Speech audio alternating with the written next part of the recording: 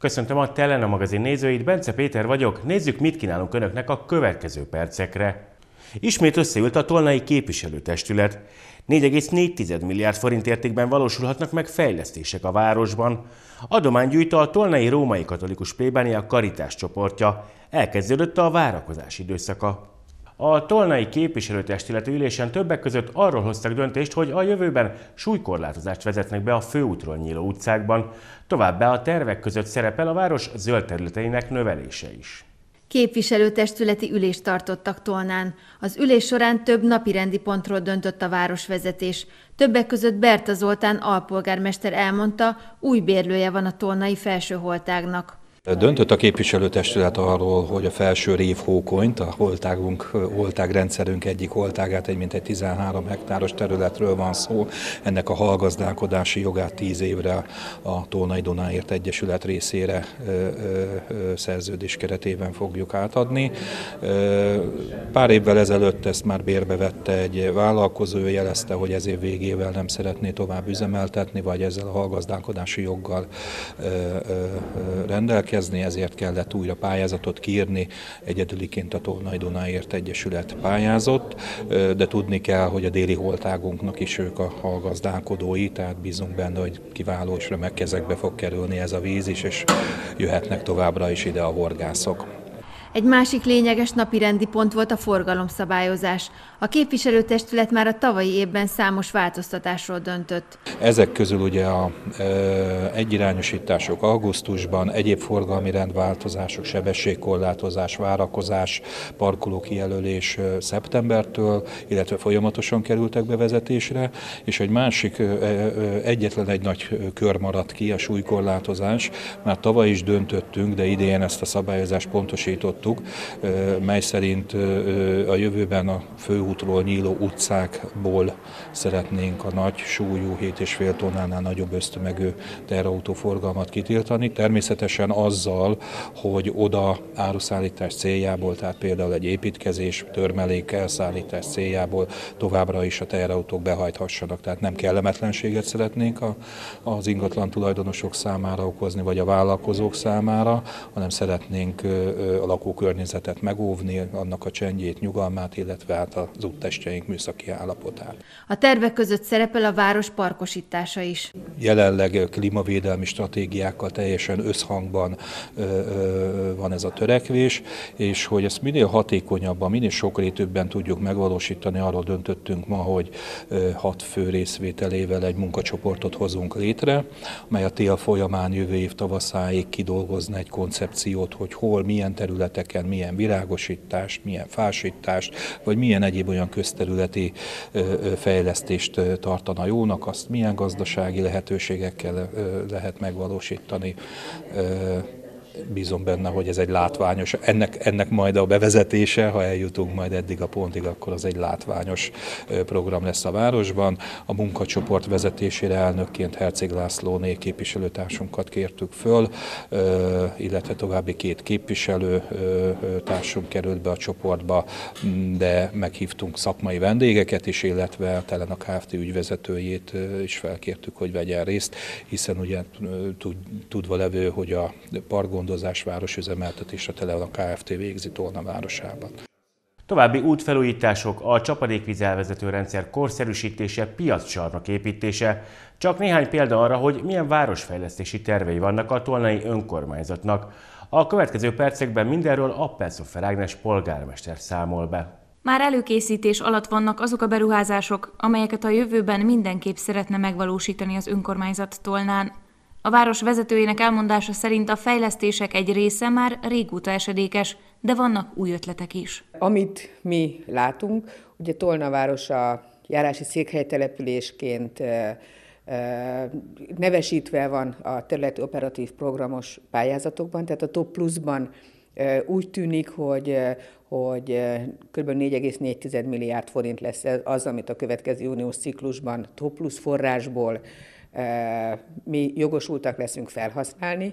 Ezeket nyilván majd a pályázat megjelenése után tudjuk benyújtani, még a pályázatok nem jelentek meg, de tekintettel arra, hogy társadalmi egyeztetés alatt van, és a, társadalmi, és a társadalmasítás során azért hozzájutunk azokhoz a fontos információkhoz, hogy mire tudunk esetleg pályázni, azért mi készülünk, és nyilván azokat a, a létesítményeknek a korszerűsítése, amik már megkezdődtek, részben megkezdődtek. Ugye az előző ciklusban energetikai korszerűsítést hajtottunk végre az iskolaépületeken. Most szeretnénk egy ugyanezen a, a vonalon tovább menni, az óvodákat is szeretnénk korszerűsíteni, sőt, tovább megyek a városházát is, ugyan kívülről szép, és mi igyekszünk azért ezt rendbe tenni folyamatosan, de van egy része a városházának, ami, ami hát finoman szólva nem, nem, nem 21. századi, úgyhogy ezt a részt is és az udvart is szeretnénk felújítani. A Városháza előtti tér és az Árpád utca még még jóval korábban, a 2010-es évek elején lett felújítva, de szeretnénk a Szent Háromság teret is ugyanígy megújítani. Fontos továbbá a Dunapart felújításának folytatása is. Nem volt elég forrás annak idején, szeretnénk azért azt a részt is még megújítani, ami az előző pályázatból kimaradt. Itt konkrét ötleteink is vannak már. Nagyon fontos a, a sportlétesítmények felújítása, korszerűsítése. Itt most történetesen a két sportcsarnokról beszélek, a, a Sport utcai, Bartók Béla utcai sportcsarnokról és a Lehel utcai sportcsarnokról. Mind a kettő nagyon, nagyon kihasznált, és nagyon fontos volna ezeknek is a korszerűsítése. Itt akár burkolatcserére, világításra, fűtéskorszerűsítésre, hőszigetelésre is gondolok. Ugyan itt is igyekeztünk kisebb felújításokat végezni, de tekintettel arra, hogy, eh, hogy ezek hatalmas nagy épületek, azért nem jutott mindenre forrás a korábbiakban. A piacra járás hagyományát is szeretnék újjáéleszteni a városban. Szeretnénk mindenképpen valami helyi piacot, helyi eh, piaccsarnokot is építeni. Eh, a korábbi években nem nyújtottunk erre be pályázatot, de de ugyan Tolnán régen nagy hagyománya volt a piacnak, most az utóbbi években eh, nem sok árus és nem sok, és nem sok vásárló van. Én azt gondolom, hogy hogyha az infrastruktúrát fejlesztenénk, akár akkor a helyi termelők is eh, szívesebben látogatnának ide, és az nyilván, hogyha szélesebb lesz a kínálat, akkor én azt remélem, hogy eh, több vásárló is lesz, aki látogatja majd ezt, ezt az új piacot. Az utak és a járdák további rekonstrukciójáról sem feledkezünk meg, tehát az is nagyon-nagyon fontos, hogy minél élhetőbbé tegyük a, a települést, és ugyan igyekszünk belügyminisztériumi pályázatból vagy erőből évről évre egy-egy utcát felújítani, de tekintettel arra, hogy nem vagyunk egy kis település, és főleg családi házasövezetek vannak, tehát nagyon fontosnak gondoljuk valamennyien, hogy, hogy ugyan már egy utca kivételével mindenhol van szilárd útburkolat, de ezek viszonylag rossz állapotban vannak, tehát ezeknek a felújítása is szükségszerű, és mindenképpen szeretnénk ezt is megoldani. És aztán a két legnagyobb projekt, ami, ami vélhetően összességében a legnagyobb lesz, az a, az a csapadékvízelvezetésnek a problémája. Ez egy olyan átfogó beruházás, ami vélhetően valamennyi területet érint majd a városban. Nagyon fontos ennek a pontos megtervezése, és egyre, egyre jobban látjuk azt, hogy a, talán a klímaváltozás okán a szélsőséges időjárási viszonyok során nagyon sok ritkán, de akkor nagyon sok csapadék esik, és a, le, a hirtelen lezuduló nagy csapadékvíznek az elvezetése sok helyen problémát okoz. A polgármester szerint utóbbiban a helyieknek is lényeges szerep jut, fontos a csatornák megfelelő karbantartása. Hozzáteszem azt is, hogy nem feltétlenül szabálykövetők a lakosok, tehát nagyon sok esetben, nagyon sok utcán az árkokat betemették, vagy nem gondozzák rendesen, leaszfaltozzák, lekövezik, lebetonozzák a, a ház előtti területet, értelemszerűen ott nem tud elszivárogni a víz, úgyhogy hát ott is én azért azt szeretném, hogyha egy kicsit jobban szabálykövetőek lennének a lakosok, és mi magunk is vigyáznánk a, a környezetünkre, hiszen a hirtelen lezuduló csapadék az egyszerre nagy mennyiségű vízelvezetésére kell itt most gondolni, és, és nagyon-nagyon fontos az, hogy, hogy legyen olyan zöld terület, tehát nem aszfaltoz, nem kövezhetünk le mindent az egyik háztól a másikig, járda és parkoló és út, és, és a másik oldalon ugyanez, hanem, hanem nagyon fontos az, hogy maradjon zöld terület, hiszen csak ott tud elfújni, vagy el, elfolyni a csapadékvíz. De ennek a megoldására is pályázni fogunk. Ez vélhetően egy, egy nagy összeg lesz egyébként.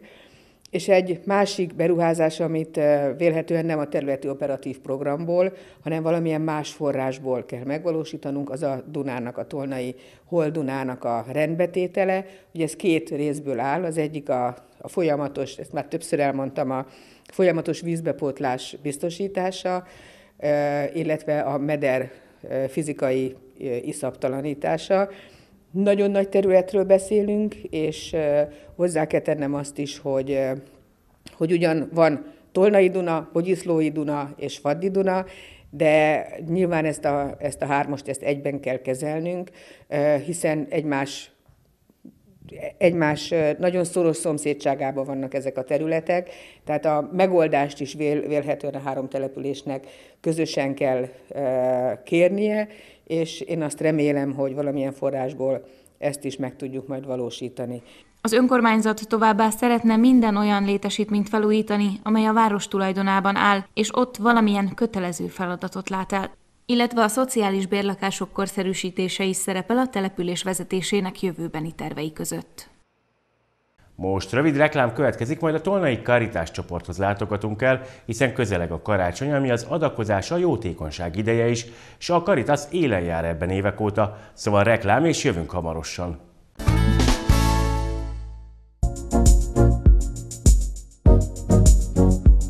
Jogosítványt szeretne? Kapcsoljon velünk turbofokozatra. Autós iskolánkban moped, motorkerékpár, személy és tergépkocsi, valamint nehézpótkocsi kategóriában állunk rendelkezésre gyakorlott oktatókkal.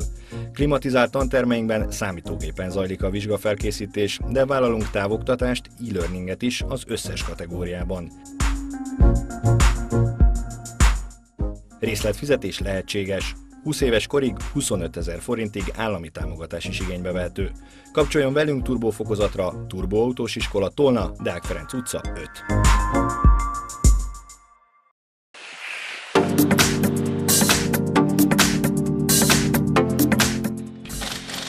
Autója elromlott? Kötelező szervizre van szüksége, vagy csak ellenőriztetni járműve állapotát? Akkor keresse az Antal Service Kft-t, a Bosch Car Service hálózat partnerét.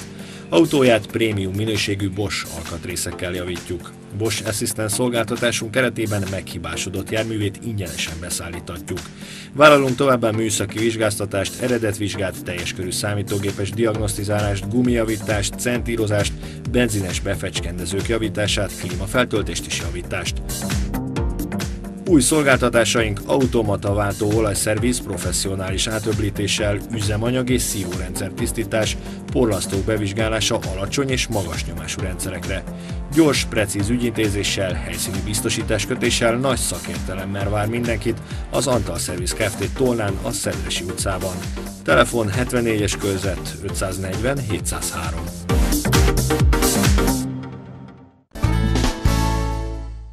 Folytatjuk is a Telena magazint. Jótékonysági akciót szervez a Tolnai Római Katolikus Plébánia Karitás csoportja. Bár a járványhelyzet miatt a tagoknak nincs lehetőség a helyi üzletekben személyesen ételadományt gyűjteni, mindent megtesznek annak érdekében, hogy idén minél több rászoruló karácsonyát tegyék szebbé. A hagyományokhoz híven karácsony közelettével idén is adománygyűjtő akciót szervez a Tolnai Római Katolikus Plébánia Caritas csoportja.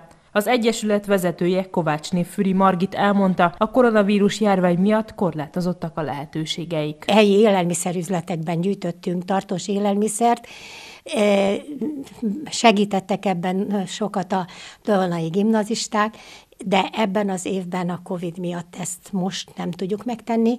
Ugyan egy kicsit előre mentünk a dolognak, és októberben már végeztünk egy gyűjtési napot, akkor is összejött egy valamennyi élelmiszer, ami kipótolva a Pécsi Egyház megyétől kapott pályázati pénzünkkel, tulajdonképpen már nagyjából sikerült a élelmiszereknek a nagy részét megvásárolnunk, de hát várjuk szeretettel még az adományokat, hogy többet tudjunk osztani. Ugyanis évekkel ezelőtt 220 főnek tudtunk, vagy két ház családnak tudtunk csomagot adni karácsonykor.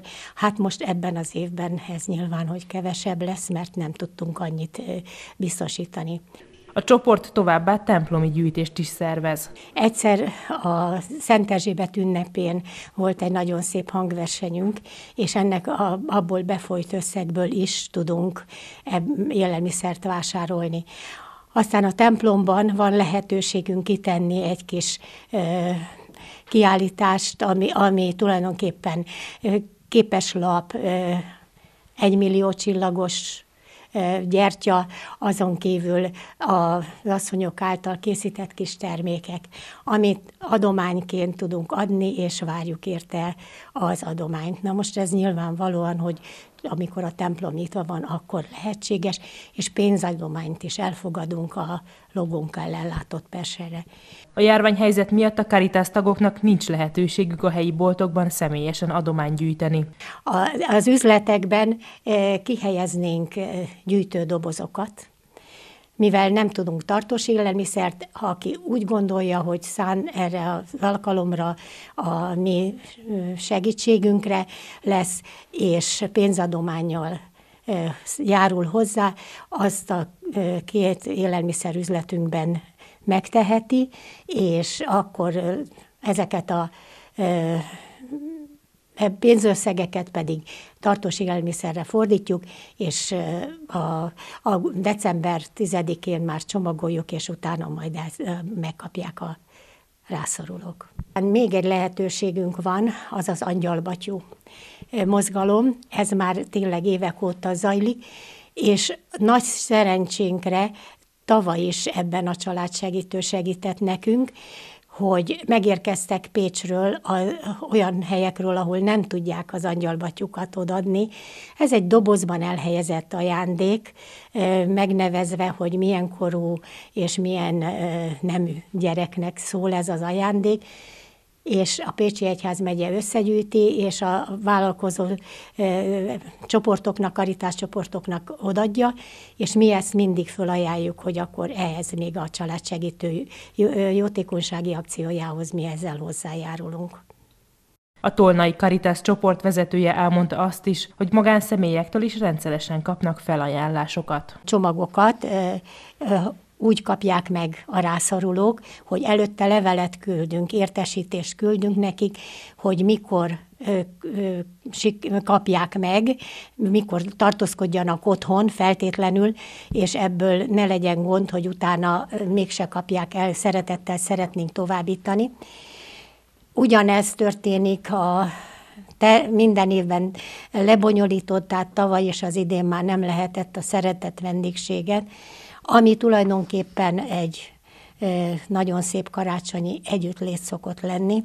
Na most valamiképpen pótoljuk ezt is csomagokkal, és a, ugyanígy tehát kapnak levelet, és csak azok kapják, akiknek tudjuk a megfelelő létszámban biztosítani a csomagokat. Úgyhogy várják akkor szeretettel, de legyenek ott, hon, amikor jönnek a, a, a csomagosztók. Tolnán is megünnepelték a karácsonyvárás időszakának kezdetét, advent első napján meggyújtották a város koszorúinak gyertyáit, a következő hetek az elcsendesedésről és az ünnepre való felkészülésről szólnak majd.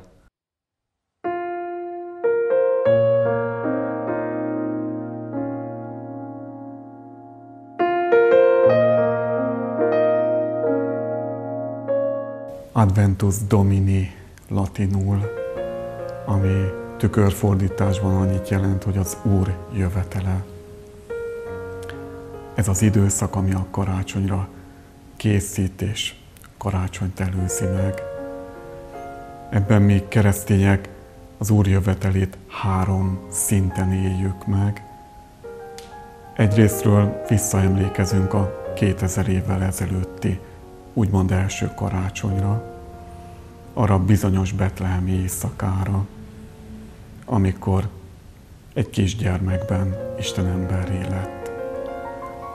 Amióta számoljuk az éveket a történelemben, és nem csak I-E, I-U, hanem Krisztus előtt, Krisztus után időszakról beszélünk.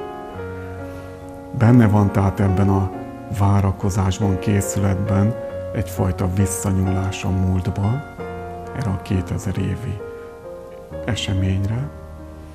Aztán nyilván ez a mostani advent arról a szó szerinti négy hétről is szól, ami majd az idei karácsonyra vezet el és készít föl bennünket.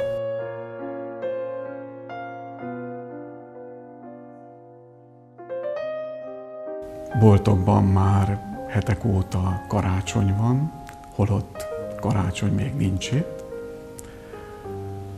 Van, aki lót fut, és beszerzi a ajándékokat, dolgokat, és így készül a karácsonyra.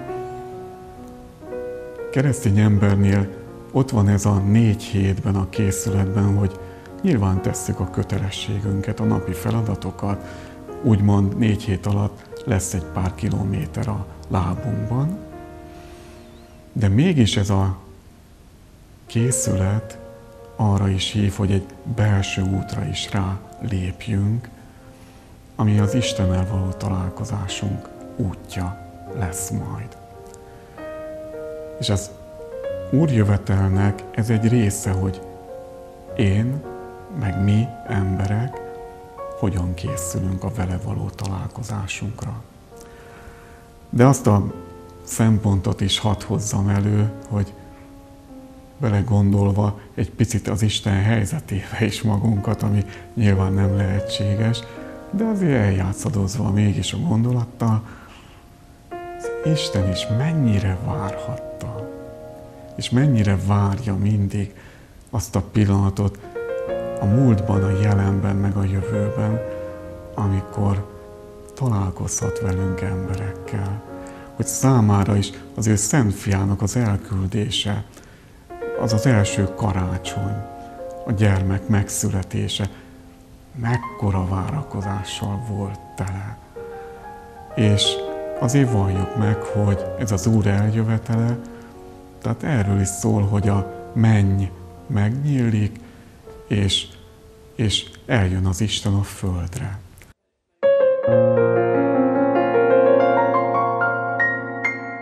Nyilván aztán most ennek a mostani adventi időszaknak megint csak van egy covidos háttere.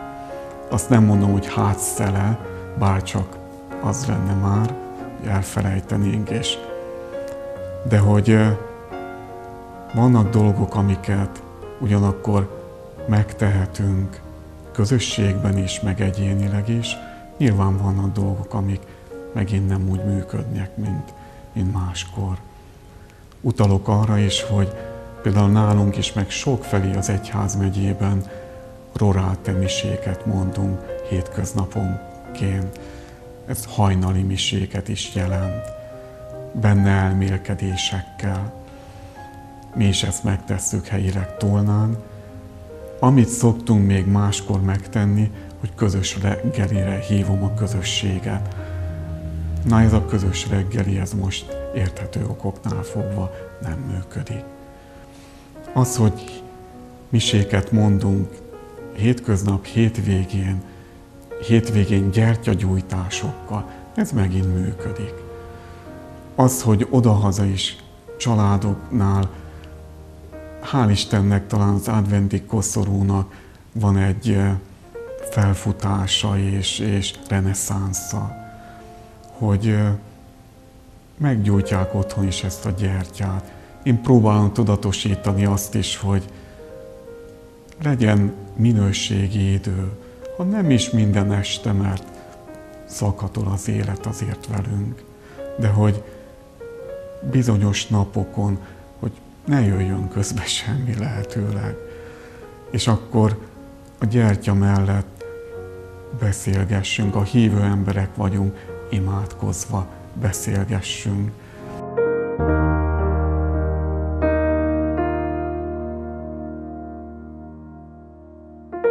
Mi van velem, mi történt, hogy vagyok, olyan alapkérdése és fontos kérdése, amikről már leszoktunk.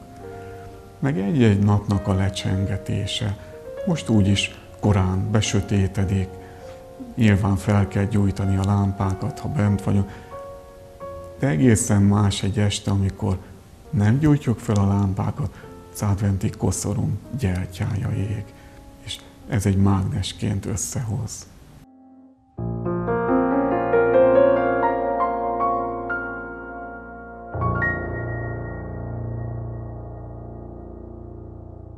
Köszönöm, hogy minket néztek, tegyenek így legközelebb is, viszontlátásra!